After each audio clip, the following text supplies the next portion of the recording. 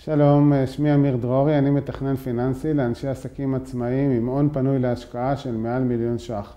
אני שמח להתארח באפסילון בית השקעות ולשמוע מפי מר אביב כרמי, מנכ"ל אפסילון תיקי השקעות, על הנושאים המעניינים את לקוחותיי. שלום רביב, כיצד היית בוחן את אה, התאמת התיק ללקוח מבחינת הסיכון שבהשקעות, מדיניות ההשקעות וכדומה? אה, טוב, זה, זה באמת אחד, ה, אה, אחד הדברים שהם בעצם, ה, ה, הייתי אומר, בין הדברים החשובים ביותר בעצם ב, ב, בכל התהליך של ניהול ההשקעות. בעצם כשאנחנו אה, אה, מתחילים לנהל אה, ללקוח תיק השקעות, אנחנו בעצם עוברים איתו איזשהו תהליך של היכרות של הלקוח, הבנה, הבנה אמיתית של הצרכים שלו, של רמת הסיכון שמתאימה לו, ובסופו של דבר אנחנו מגבשים איזושהי המלצה עבורו ועבורנו על מידת הסיכון שהלקוח הזה צריך להימצא בה. מההיכרות שלנו עם אה, לקוחות, אה,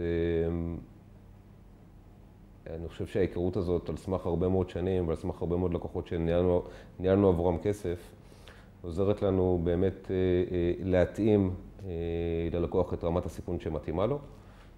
שוב, צריך לזכור תמיד שכשהשווקים מתנהגים בצורה חיובית וכשהשווקים עולים, מרבית הלקוחות פחות רואים את נושא הסיכון ויותר מסתכלים על הסיכוי או על ה upside של השוק. אה, התפקיד שלנו, התפקיד שלנו מבחינה מקצועית זה אה, אה, תמיד לשקף להם גם את הסיכון הקיים בהשקעות ולהראות להם את הצד השני של המטבע ולנסות להבין מהם מה באמת רמת הסיכון שמתאימה להם. קבוצת מנהלי השקעות שלנו זו קבוצה עם ניסיון מצרפי של משהו כמו 200 שנות עבודה. סך הכל הם אה, אה, עברו הרבה מאוד אירועים אה, בשווקים, גם של עליות, גם של ירידות, ואני חושב שאנחנו באמת פיתחנו איזושהי מיומנות שבהחלט עוזרת לנו לאפיין את צורכי הלקוח.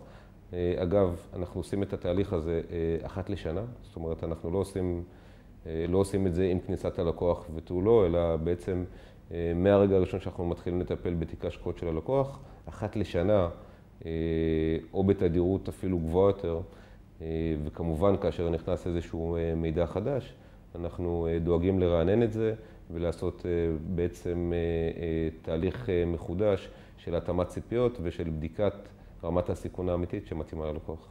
אני מודה לרביב על תשובתו ומזמין אותך להירשם לערוץ היוטיוב שלי כדי ללמוד מפי המומחים הבכירים בענף ההשקעות בישראל כיצד לשפר את השקעותיך.